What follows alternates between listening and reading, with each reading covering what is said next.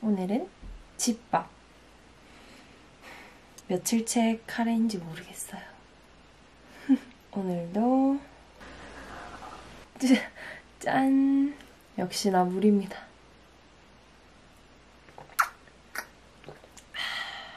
원래 한 번 하면 오래 먹잖아요, 카레. 이곳이 바로 백수 자취생의 밥 아닐까요? 카레가 부족해.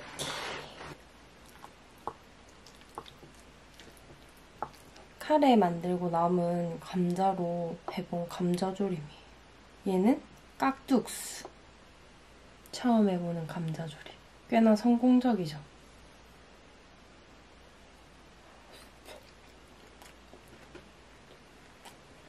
근데 좀 딱딱해요.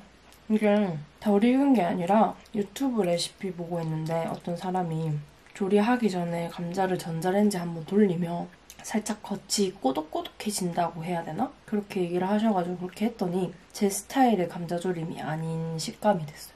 저는 감자가 완전 으스러지는 식감을 되게 좋아하거든요. 근데 약간 겉이 꼬독꼬독해졌어. 잘 먹겠습니다.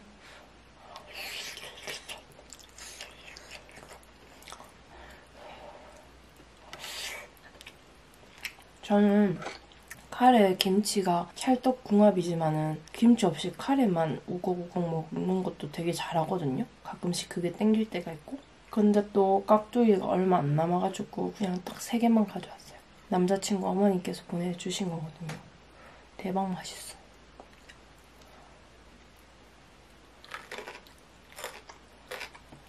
음.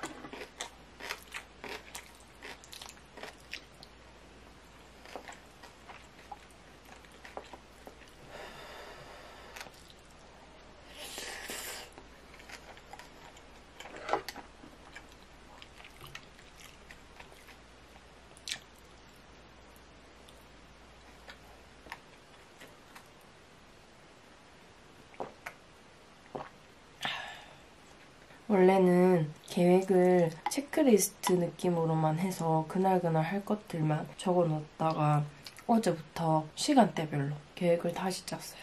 그래서 하루에 8시간씩 주 6일 이렇게 뭔가를 위해서 노력하는 시간으로 보낼 수 있게끔 계획을 짰어요. 저는 주로 기획, 촬영, 편집 등등등등. 그래서 오늘 아침에 8시 반에 일어났어요. 8시 반에 일어나서 준비하고 거의 9시쯤에 작업 시작했어요. 뿌이.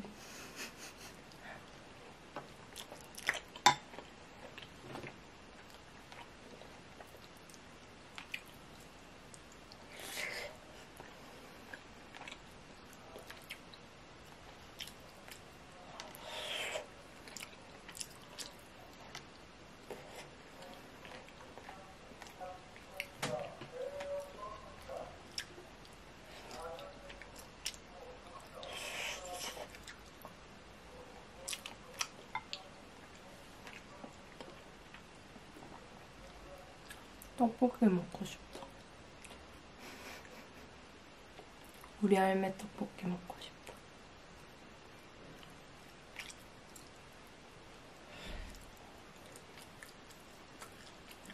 약간 떡볶이 맛이 나는 것 같아요. 음. 저는 간장만 넣는다고 생각을 했는데 어떤 유튜브 보니까 고추장도 살짝 넣더라고요. 그래서 어제 할 때 고추장 살짝 넣어서 했는데 그래서 그런지 약간 떡볶이 맛이 나는 것 같기도 해요. 지금 떡볶이가 먹고 싶어서 그런가?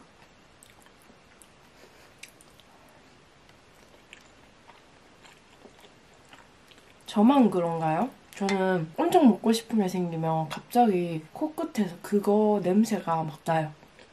예를 들면 갑자기 떡볶이가 먹고 싶다 하면 코끝에 떡볶이 냄새가 샥 스쳐. 어 떡볶이 떡볶이 먹고 싶다 약간 이런 느낌.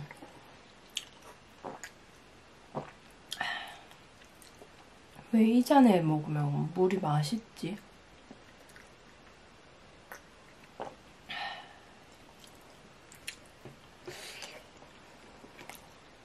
여러분들은 집밥 중에 제일 좋아하는 게 뭐예요? 저는 기본적으로 그냥 차가운 김치는 잘 안 먹거든요. 근데 김치 요리를 진짜 좋아해요. 김치찜, 김치찌개, 김치볶음밥, 고기에 김치 넣어가지고 두루치기 하는 거 그런 거. 김치 요리는 진짜 좋아하는데 그래서 집밥 하면 김치찌개 이런 거 무조건 김치 요리였는데 자취하고 나니까 그냥 딱 흰 밥에 된장찌개나 미역국 같은 그런 국에 반찬들 있는 그런 백반 느낌 그런 거를 너무 좋아하게 됐어요. 반찬을 많이 펼쳐놓고 못 먹다 보니까 그래서 회사 다닐 때도 그런 반찬 많이 주는 집을 자주 가고 싶어지더라고요. 음. 근데 또 자취하면서 느낀 건데 과연 내가 결혼해서 우리 엄마처럼 반찬을 막 여러 가지를 해다가 끼니 때마다 여러 반찬을 먹을 수 있게 준비를 할 수 있을까 싶은 거예요. 난 그렇게 못할 것 같아. 그냥 메인 요리 하나에 김치 이렇게만 할 수 있을 것 같지 막 반찬 여러 개를 너무 대단한 것 같아요 엄마들은.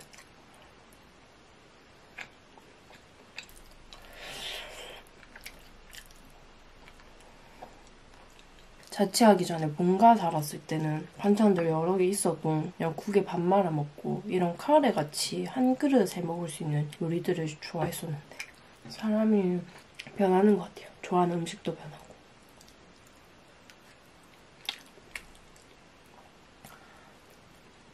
못 먹던 음식도 막 먹게 되잖아요.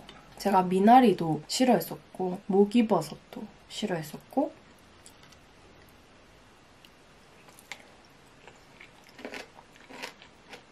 파김치도 싫어했었거든요. 이게 먹방을 보다 보니까 그게 맛있는 이유를 찾고 싶어져. 그래서 한두 번 도전하다 보면 너무 맛있어져. 음. 제가 또 남들 호불호 많이 갈리는 음식도 잘 먹는 편이어서 그렇게 바로 바꿀 수 있었던 것 같기도 해요.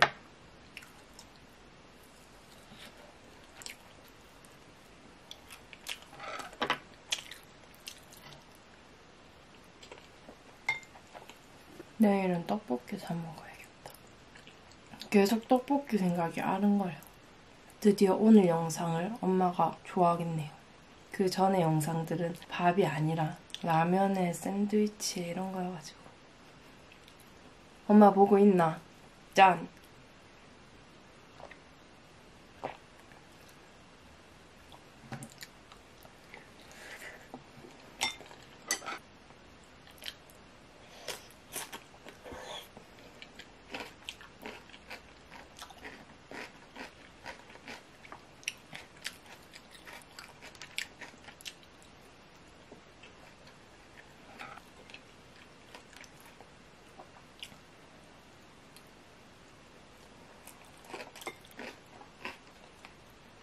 마지막 숟가락.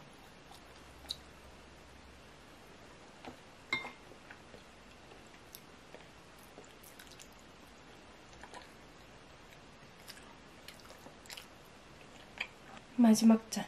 Cheers.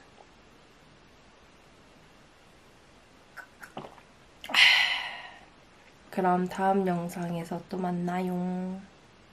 안녕.